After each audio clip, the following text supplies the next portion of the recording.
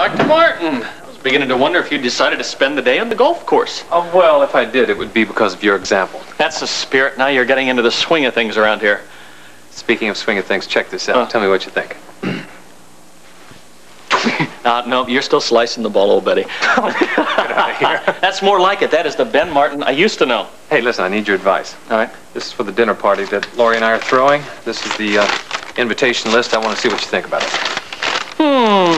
Uh-oh, watch out. Uh, this Brian Graham fella can get really out of hand sometimes. Granted, but his heart's in the right place. What Uh. about Debbie Rivers? Ooh, now that river runs deep. You talk about sure and steady. You don't have to go into details. Just Sherry Jefferson. You know, she had some articles published recently. Sherry Jefferson. Yeah.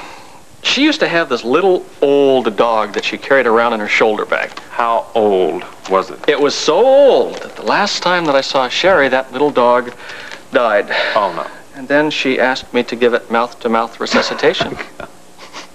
Need I say more? No, I ask for your advice. Yeah, well, here's some more advice. Uh, I should say a warning. There is a very troubled lady waiting outside to see you. I know, I saw her. She spoke to me as I was coming in. She said she had heard all these great things about me, or... Well, from what I could find out, some very dashing gentleman has recommended you to her. Dashing gentleman. I wonder who that could be. Mrs. Gilbert, Dr. Martin will see you now. Oh, I'm Mrs. Gilbert. How do you do, Mrs. Gilbert? Please come in, have a seat. Well, um, what can I do for you?